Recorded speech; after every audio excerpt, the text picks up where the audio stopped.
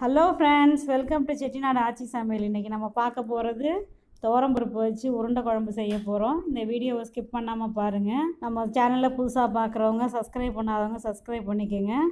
வாங்க வீடியோக்குள்ளே போகலாம் உருண்டை குழம்புக்கு தேவையான பொருள்கள் ஒரு ஆழாக்கு துவரம்பருப்பு ஊற வச்சு எடுத்து வச்சுருக்கேன். தேவையான அளவு கொத்தமல்லி ரெண்டு ஸ்பூன் தேங்காய் திருகல் சின்ன வெங்காயம் நைஸாக கட் பண்ணி எடுத்து வச்சுருக்கேன். சோம்புத்தூள் ஒரு ஸ்பூன் மிளகாத்தூள் அரை ஸ்பூன் மஞ்சத்தூள். உப்பு தேவையான அளவு. இப்போ நம்ம இந்த உருண்டைக்கு குழம்புக்கு இந்த பருப்பை மிக்ஸி ஜாரில் ஜஸ்ட் ஒரு பல்ஸ் கொடுத்து நம்ம அரைச்சி எடுத்துக்குவோம்.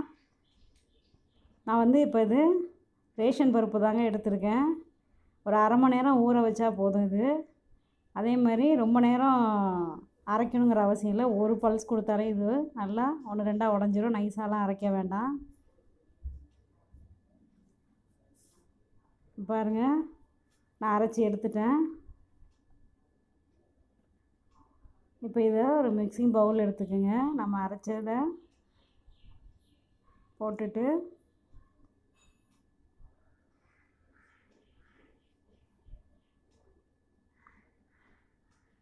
இப்போ நம்ம எடுத்து வச்சுருக்கிற வெங்காயம்.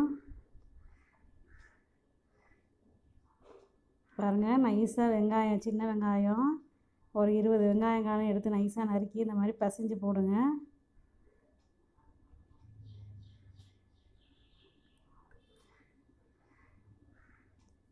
இது வந்து நம்ம ஆவியில் அவிக்க போகிறதெல்லாம் இல்லை. வறுக்க போகிறதும் கிடையாது. பாருங்கள் எடுத்து வச்சுருக்க எல்லாத்தையுமே நான் அதில் மிக்ஸ் பண்ணிக்கிறேன்.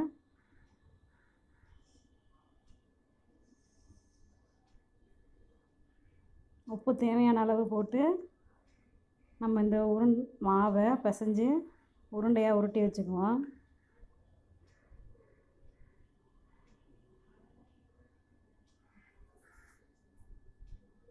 சில பேர் இதை இந்த மிக்சிங் மிக்சிங் இதை வறுத்துட்டு கூட போடுவாங்க. நான் வறுக்க போகிறதில்ல அவிக்க போகிறதில்ல பச்சையாக உருட்டி எடுத்து வச்சுக்கிட்டு குழம்பு தாளிக்கிறத காட்டுறேன். ரொம்ப அழுத்தி உருட்ட வேண்டாம்.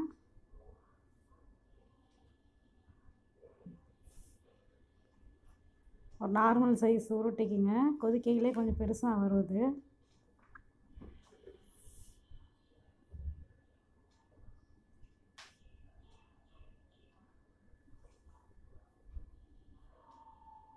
இந்த மாதிரி எல்லா மாவையுமே உருட்டி வச்சுக்குங்க. இப்போ வாங்க இப்படி குழம்பு தாளிக்கலாம் நம்ம பார்க்கலாம்.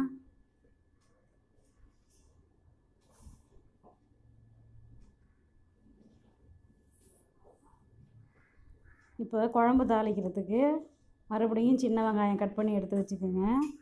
தக்காளி ரெண்டு ஸ்பூன் குழம்பு தூள் எடுத்துருக்கேன். பெருங்காயத்தூள் உப்பு புளி ஊற வச்சு வச்சுருக்கேன்.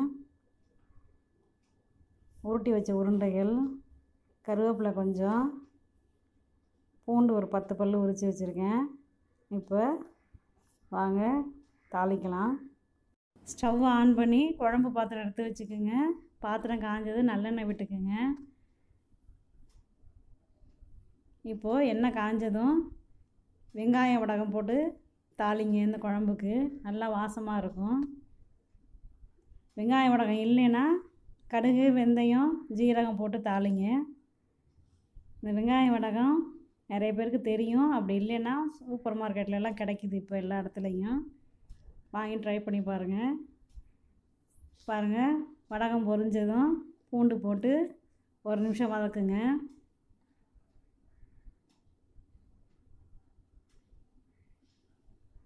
அடுத்து சின்ன வெங்காயம். சின்ன வெங்காயம் வந்து நிறைய கட் பண்ணி இந்த பாருங்கள் நான் எப்படி வதக்குறேன்னு பாருங்கள் அதே மாதிரி நிறைய நீங்களும் வெங்காயம் தக்காளி தான் இந்த குழம்புக்கு. தேங்காயெல்லாம் நான் ஊற்ற போகிறதில்ல அதனால் நிறைய வெங்காயம் தக்காளி போட்டு இந்த குழம்பு நல்லா ஒரு செமி கிரேவி மாதிரி இருந்தால் தான் நல்லாயிருக்கும் பாருங்கள் வெங்காயம் வதங்கிருச்சு கண்ணாடி பதத்துக்கு. இப்போ அடுத்து நம்ம தக்காளி சேர்த்துக்கலாம். நல்லா பழுத்த தக்காளி ரெண்டு தக்காளி நான் அதில் சேர்த்துருக்கேன். தக்காளி வதங்குறதுக்கு கொஞ்சம் உப்பு போட்டுக்குங்க.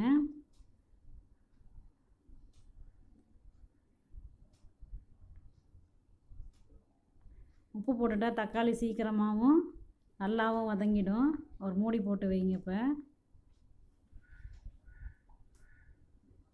சிம்மில் வைங்க.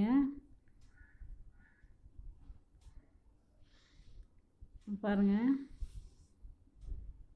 தக்காளி வதங்க ஆரம்பிச்சிருச்சு.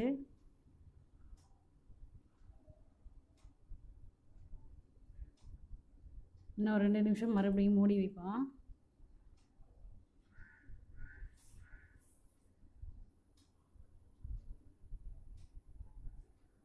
நல்லா பாருங்கள் எண்ணெய் தெளிஞ்சு வந்துருச்சு.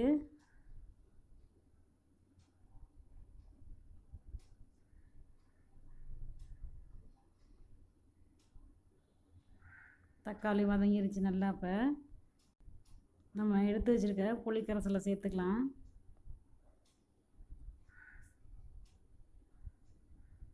அது கூட எடுத்து வச்சுருக்கிற நான் சாம்பார் பொடி தாங்க இதுக்கு சேர்த்துருக்கேன். நல்லா ரெண்டு ஸ்பூன் சாம்பார் தூள் சேர்த்துக்குங்க. அப்படி இல்லைன்னா நீங்கள் தனி மிளகாத்தூள் மல்லித்தூள் கூட இருந்தால் அதுக்கு தகுந்த மாதிரி நீங்கள் போட்டுக்கோங்க. நான் ரெண்டு ஸ்பூன் மிளகாத்தூள் தான் போட்டிருக்கேன். இது நல்லா தண்ணியாக ஊற்றிக்கோங்க நல்லா தண்ணியாக தான் நிறைய வேணும் இந்த குழம்புக்கு.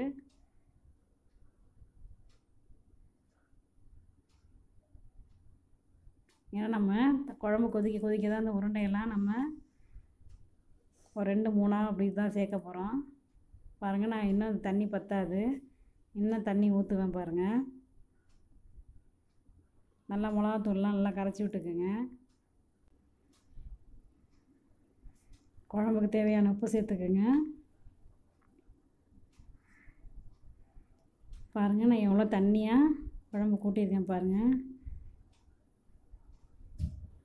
நம்ம அப்புறம் உருண்டை போட போட குழம்பு திக்காயிடும்.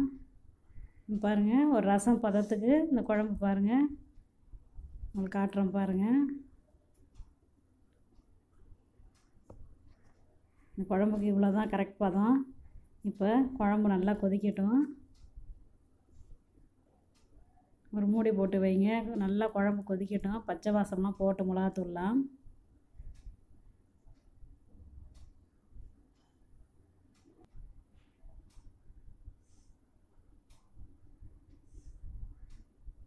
பாருங்கள் நல்லா நம்ம குழம்பு கொதிச்சிருச்சு. இப்போ நம்ம உருட்டி வச்சுருக்கிற உருண்டைகளை சேர்க்க ஆரம்பிச்சிடலாம்.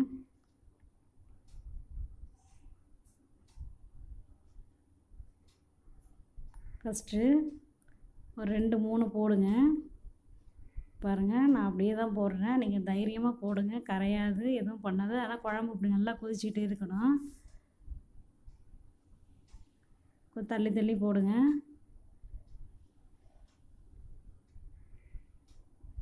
ஒரு மூடி போட்டு ஒரு நிமிஷம் கொதிக்கட்டும். பாருங்கள் இப்போ போட்டு ஒரு நிமிஷம் ஆச்சு. அடுத்து அதே மாதிரி ஒரு நாலு உருண்டையை சேருங்க. இந்த உருண்டை வந்து கரையாது உடையாது. நீங்கள் நம்பி போடுங்க. நாலு நாலு உருண்டையாக சேர்த்து சேர்த்து மூடி மூடி வச்சு குழம்பு கொதிக்க கொதிக்க போடுங்க. அவ்வளோதான். பாருங்கள் நல்லா கொதிக்குது பாருங்கள் அதே மாதிரி நம்ம எல்லா உருண்டைகளையுமே அந்த மாதிரி சேர்த்து முடிச்சிடுங்க நடுவில் லேசாக கிளறி விடுங்க. பாருங்கள் நான் எல்லா உருண்டையுமே நான் போட்டு முடிச்சிட்டேன் பாருங்கள் போட்டுட்டு ரெண்டு நிமிஷம் குழம்ப நல்லா மூடி வைங்க. உங்களுக்கு சப்போஸ் த குழம்பு தண்ணியாக இருந்ததுன்னா அந்த ஒரு உருண்டையை கூட கரைச்சி விட்டிங்கன்னா குழம்பு திக்காயிடும். பாருங்கள் மூடி வச்சுடுங்க எடுங்க. நம்மளுடைய சுவையான உருண்டை குழம்பு ரெடிங்க பாருங்கள் எவ்வளோ அழகாக உருண்டையெல்லாம் அப்படியே இருக்குது பாருங்கள் கரையலை உடையலை. அவ்வளோதாங்க உருண்டை குழம்புடைய பதம் குழம்பு திக்காயிடும். நம்ம உருண்டையெல்லாம் வெந்துருச்சுனாக்க அதுவாகவே தன்னால் உங்களுக்கு மேலே எலும்பி வரும். அப்போ நீங்கள் ஸ்டவ் ஆஃப் பண்ணி சர்வ் பண்ண வேண்டியதான் பாருங்கள் எவ்வளோ அழகாக இருக்குது நம்மளுடைய உருண்டை குழம்பு ரெடி. இப்போ நான் ஒரு சர்விங் பாலில் மாற்றி காட்டுறேன் பாருங்கள் பாருங்கள் உருண்டை குழம்ப நான் ஒரு சர்விங் பவுலில் மாற்றி காட்டியிருக்கேன். நம்மளுடைய சுவையான உருண்டை குழம்பு ரெடி கண்டிப்பாக நீங்களும் ட்ரை பண்ணி பார்த்துட்டு உங்கள் கமெண்ட்ஸை சொல்லுங்கள்